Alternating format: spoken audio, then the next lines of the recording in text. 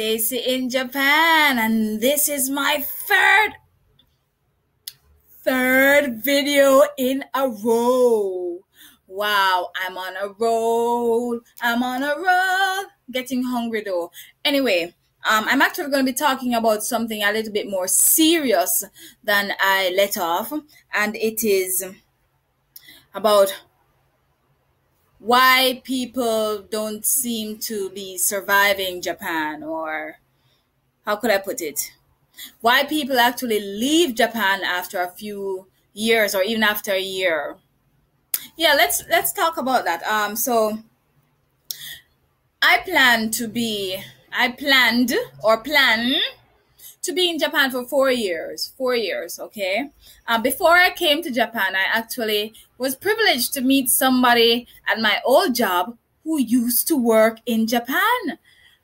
And when she told me she was in Japan for almost four years, I was like, why did you come back? Why did you come back to Jamaica? You know, because I mean, the truth is, I was really struggling in Jamaica. Yes, I was working, but you know, the expenses, it, it, it just wasn't adding up. You know, talk about living from paycheck to paycheck or living from paycheck to two paychecks. Like, mm. so it wasn't working out. And I was like, why would anybody get that opportunity to go to Japan and and leave?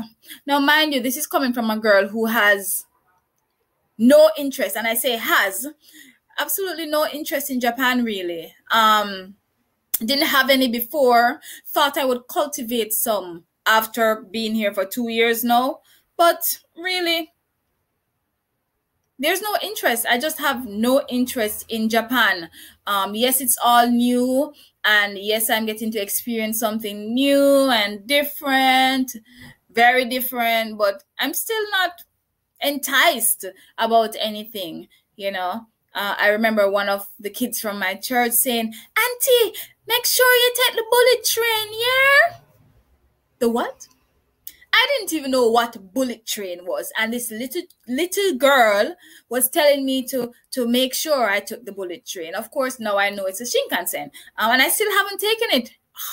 Two years now, and I have not taken the Shinkansen. Two years now, and I have not seen Tokyo or gone to Tokyo. And I frankly have no interest in going to Tokyo.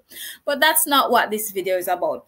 This video is about identifying some of the reasons um, why people would have gotten this kind of opportunity and left after a year or two or three, almost four years kind of thing, while others may have very well just stayed um, and have been staying for over 10 years.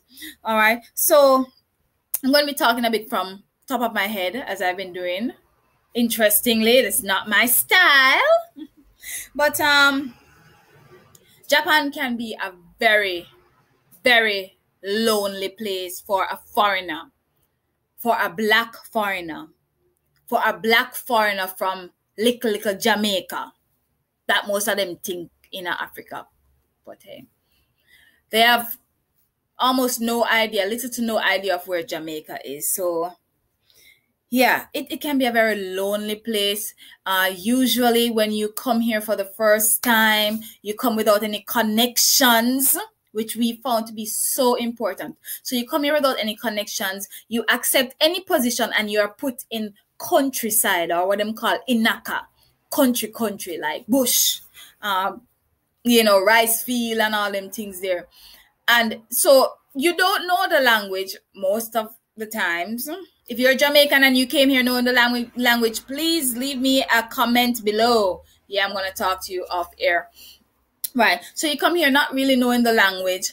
Um, whatever amount of cultural, cultural, culture, cultural awareness that you do have is probably from the um the orientation before you left Jamaica or before you left whatever country and while you were in training here about Japan. Yes, maybe you did take some initiative and read up about Japan.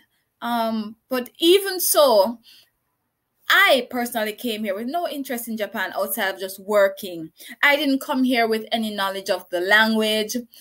Uh, apart from you know just basic greetings. I did try to study some greetings but that was about it.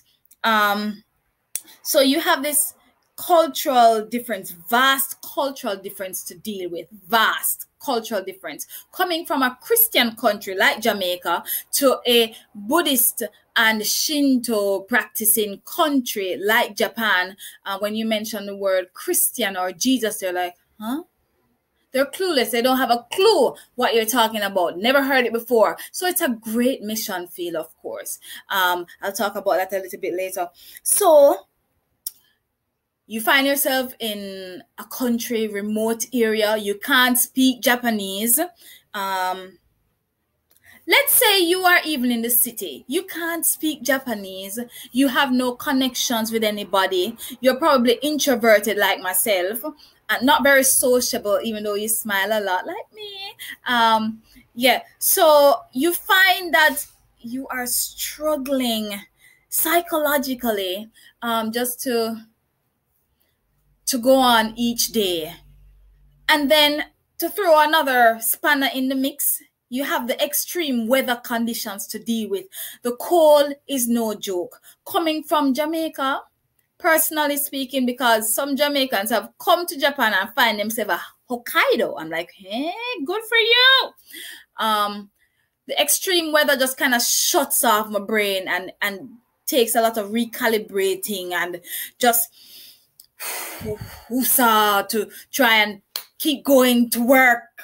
I'm like, yo, they don't take a break. Rain, snow, flood. You call that? what them call it typhoon you still go to work okay so it's like the, the pressure the pressure is just overwhelming you know um and this is my personal experience i don't know what your experience has been like if you do live in japan or lived in japan um you can you can share your experiences with me so if if i if i like decide to just get up and leave Japan, it would be because of the the weather, the cold in particular. I can survive the mushiatsui, very humid summers. I can survive. It's it's deadly, but I still prefer that to the um the eight months of cold. Um, so the cold weather, the language barrier. To study Japanese, you you really have to commit and dedicate time to studying the language. And frankly speaking, since I'm not that interested in the country, it's very difficult to do that. And I feel that I am I'm a little bit too old right now to focus. Yes, I'm 36. I'm too old. Not I'm not old. I'm just too old to focus on learning a language like that right now. Um with other interests and focuses in in mind. So the weather the language barrier, the isolated feeling, not just by being alone, you know, because when I go to work, I still kind of feel very alone. You know, you hardly have teachers approaching you and engaging you because you can't speak the language and they can't speak English. And even the English teachers don't even engage you. So you're like, man, man, it's it's tough. Um, and then not being such an outgoing person, you know. Um, I try. What has been helpful, honestly, is linking up with other Jamaicans, um, clinging to those Japanese who have become good friends, though, you know, they have been really helpful, and finding a church. In my first year, I went to an all Japanese speaking church for one whole year just for the fellowship, just to be surrounded by people. You know, I didn't understand what was being preached most of the times. I mean, after a while, I kind of pick up a few things, you know, and then after a while, my, my pastor got very, very um, animated, you know, you know, just trying to um, help me to be a part, you know, but my second year, I found a bilingual church, and that made a world of difference. Um, so, you know, when I think back about what I said to my friend about how could you leave Japan? It's such a great opportunity. Like, listen, me ready for go my yard? No. Right? If if things were different back home, man, I would have gone home after the first year. God no. God no. Japan rough. Japan rough. But then there are persons who've been here over 10 years. But guess what? Most of those persons who have been here long term, one, have or have had interest in Japan prior to coming to Japan. Two, have studied in Japan. Three, have developed relationships in Japan. Four, have gotten married in Japan. Five, have had kids in Japan and just decided, hey, let's just settle here and so on. So there's that kind of support which you need. You need that kind of support when you're in Japan right? You need that kind of support. And um, I want to thank God for the, the few friends that I have back home. And my family doesn't keep in touch as much, um, incidentally, but I thank God for them still. So you really have to have a good support system to survive living in Japan by yourself.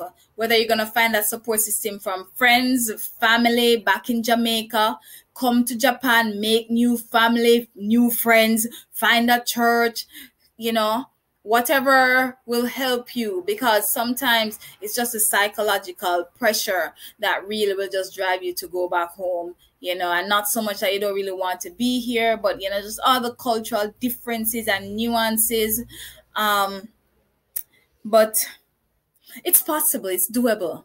And for that reason, for that reason, I created the group Jamaicans Living in Japan to kind of form a, a support system to kind of help people to network together, you know, kind of find out who lives where, who live close, who would like to meet up and that kind of thing, which is so helpful, has been so helpful for me personally. So Thanks for watching. Thanks for listening to me ramble.